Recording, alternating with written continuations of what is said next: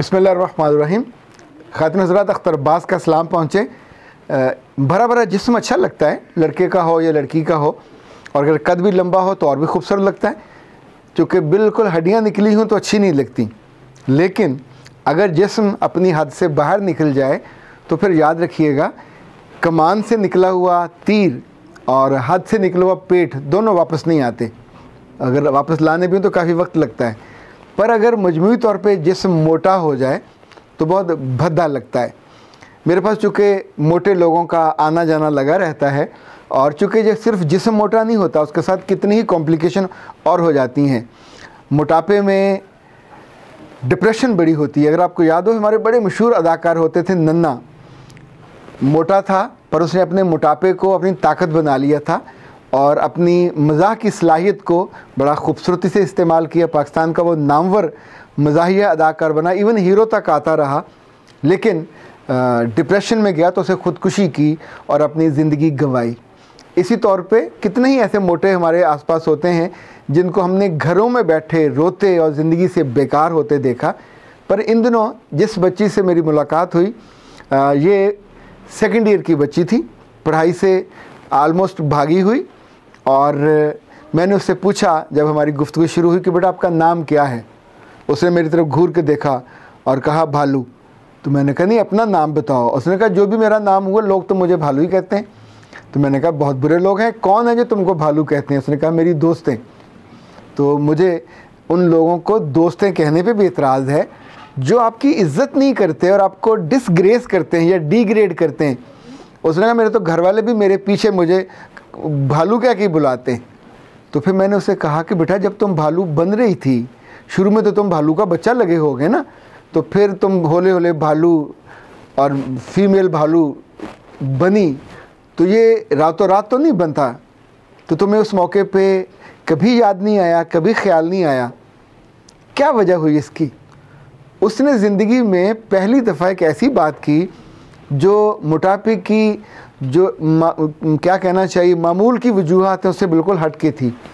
उसने कहा, मेरे मोटापे की वजह फ़ेक आईडी ये एक नई वजह थी। मैंने उससे तफसील जाननी चाही। तो उसने कहा मैट्रिक तक मेरे पास कोई मोबाइल नहीं था और मेरी दोस्तें मेरा मज़ाक उड़ाती थी, मुझे पेंडू कहती थी, पर मेरी वालदा और वाले दोनों का इस बात का मानना था कि तुम्हें मोबाइल नहीं देना। तो मैंने मैट्रिक कर लिया, अच्छे नंबर आ गए। फिर जब दिन मेरे पास फ़ारग थे तो मैंने अपने वाले से कहा, अब तो मैं कॉलेज जाना तो मुझे मोबाइल दे दीजिए। तो उसने कहा, नहीं बेटा, तुम्हें मोबाइल नहीं देंगे, इससे बहुत मसाइल पैदा होते हैं। तो मैंने उनसे कहा, ठीक है, आप उसमें सिम वाला मोबाइल ना दीजिए। मुझे कोई ऐसा मोबाइल दे दें जिसमें फेसबुक हो, और मैं बस उस पर बैठ के थोड़ा देख लिया करूँगी और मेरा वक्त गुजर जाया करेगा। तो तब इस बात को मान लिया गया, और फेसबुक पे उसने अपनी आईडी बनाई, जो उसके वालिद और वालदा दोनों जानते थे, उसको चेक भी कर लेते थे। पर वो अपनी दोस्तों की वजह से इतनी काइयाँ और चालाक हो गई थी कि उसने एक फ़ेक आईडी बनाई और उस फेक आईडी से मुख्तलिफ़ लोगों से दोस्तियाँ करनी शुरू कर दी। अब चूँकि ये जो छुट्टियाँ थी, इसमें घर पे थी, कभी वो कोई डील मंगवा रही, कभी कोई खाना तो हर वक्त बैठे बैठे खाना खाते खाते भालू तो पूरी पहले नहीं थी, भालू का बच्चा थी, पर फिर वो भालू बनती गई। ना किसी ने खाने से रोका ये वालदन बहुत जुल्म करते हैं कि अपनी मोहब्बत के नाम पे, मोहब्बत के इजहार के लिए खाना ज़्यादा देना शुरू कर दिया, जब बेवक्त दिया। और अगर आपने दिया भी है तो फिर उसको बाबा कोई आउटलेट भी दें कि जिसमें वो खाने का कंजम्पशन भी हो सके। उसको वॉक पे लेके जाएँ, उसको जिम में लेके जाएँ, ताकि नॉर्मल उसका वजूद रहे। बच्ची का वजूद हो या बच्चे का, जब भी एबनॉर्मल होता है तो उसके लिए आसपास जो कमेंट्स हैं वो बहुत दिल दुखाने वाले और तकलीफ़ दे होते हैं। इस दौरान ये दो तीन माह उसके पास थे। इसने उस फेक आईडी से मुख्तलिफ़ लोगों से दोस्तियाँ की। उसमें एक लड़का ऐसा था जो लंदन बैठा हुआ था और वो वहाँ विज़िट वीज़े पे गया हुआ था, जॉब तलाश कर रहा था। ये उससे बातें करती, वो इससे बात, दोनों वेले, दोनों फारग। एक दूसरे की आवाज़ की कशिश से, आवाज़ की तारीफ़ करनी शुरू की। फिर उसने से कहा, मुझे अपनी तस्वीर भेजो। इसने अपनी तस्वीर साइड पर बनाया और बना के वो भी उसमें कुछ एप्लीकेशन लगा के उसको ज़रा क्यूट सा बना के भेज दिया। उसने उसकी भी तारीफ़ करनी शुरू कर दी और फिर होले होले ये बात बढ़ के सुबह, दोपहर, शाम घंटों की कन्वर्सेशन पे चली गई। जब ये कॉलेज गई, तब वक्त का फ़र्क था कि कॉलेज से अक्सर छुट्टी कर लेती थी उसके टेलीफोन के लिए और जाके कमरे में वाशरूम में मुसलसल बातें करती रहती, बातें कभी ख़त्म नहीं होती थी। फिर अचानक उस लड़के को वहाँ एक पिज़्ज़ा डिलीवरी बॉय की जॉब मिल गई। तब इसको बहुत तकलीफ़ हुई। इसने से कहा कि और अच्छी जॉब करो। ये तो आ, हमारे मैच की नहीं है। अगर अब्बा को पता चला अम्मा को पता चला तो कभी हमारा रिश्ता नहीं हो पाएगा एक पिज़्ज़ा डिलीवरी बॉय से। पर उसने कहा ये आर्जी है मुझे कुछ करने दो फिर कुछ और जॉब मिल जाएगी। अब इसी दौरान उनके ताल्लुक़ की जो गहराई थी वो बातों की गहराई से होती गई। ख़ात्म एक बात याद रखिएगा हम बच्चों को कभी नहीं बता पाते कि रिश्ते का फ़ैसला तुमने नहीं करना। और रिश्ते का फ़ैसला ना बेटा कर सकता है, ना बेटी कर सकती है। अगर तुझे बिन माँ बाप के बच्चे हों, किसी उजाड़ जगह पे रहते हों, जहाँ कोई रिश्ता ना हो, वहाँ तो शायद इन्हें ये फ़ैसला करने का हक़ मिल जाए। पर जब ख़ानदानों में होते हैं, घरों में होते हैं तो ये हक़ नहीं दिया जा सकता। फिर यह हक़ लेने की जब कोशिश करती है, वहाँ कॉम्प्लिकेशन होती है, वहाँ फिर पाबंदियाँ लगती हैं, वहाँ फिर मार भी पड़ती है। वहाँ फिर बेज़ती भी होती है। इस भालू किस्म की लड़की की इसकी दोस्त ने, इसकी सभी दोस्तों के सफ़ेर का पता था और चूँकि वहाँ वो तस्करा होता रहता था तो उसने एक दिन मज़ाक में से कहा कि, भालू, तूने अपनी असल तस्वीर उसको भेजी है। अगर उसने तुम्हें देख लिया कि तुमसे तो चला भी नहीं जाता और तुमसे तो कोई जूता भी पूरा फिट नहीं आता, दो सूट मिला के तुम्हारा सूट बनता है और तुम अभी सत्रह साल की हो। तो क्या इस मोटापे के साथ वो तुम्हें कबूल करेगा? तो तब उस बच्ची ने, जिसका नाम सिदरा था और जो अपने आप को भालू के नाम से मुतारफ़ करा रही थी, उसने अपनी आँखों में आँसू पूछते हुए मुझसे कहा कि, सर, वो पहला वक्त था, वो पहला लम्हा था जब मैंने सोचा कि मैं वाकई भालू हूँ और किसी इंसान के लिए काबिल कबूल नहीं हूँ। लेकिन अब तो बात इतनी आगे बढ़ गई थी कि उस फेक आईडी से फेक रिलेशनशिप की जो हर लिमिट थी वो मैं क्रॉस कर चुकी थी और अब मैं वापसी वहाँ से नहीं हो सकती थी। तो ये सोच के वापस आके डिप्रेशन में मैं चली गई और मैंने और खाना शुरू कर दिया और अब हालत ये है कि मुझे डर है, खौफ है, उधर से रिजेक्ट होने का कि जब भी मुझे वो देखेगा तो वो एक पूरे खेमे के साथ वो शादी नहीं कर सकेगा, पर मैं उसके बिना ज़िंदगी सोच भी नहीं सकती। खातिन हजरात, ये नौबत किसी लड़के के साथ हो या लड़की के साथ हो उन दोनों की खुशियाँ खा जाती है, उन दोनों का सुख और उन दोनों का फ्यूचर तीनों बर्बाद हो जाते हैं।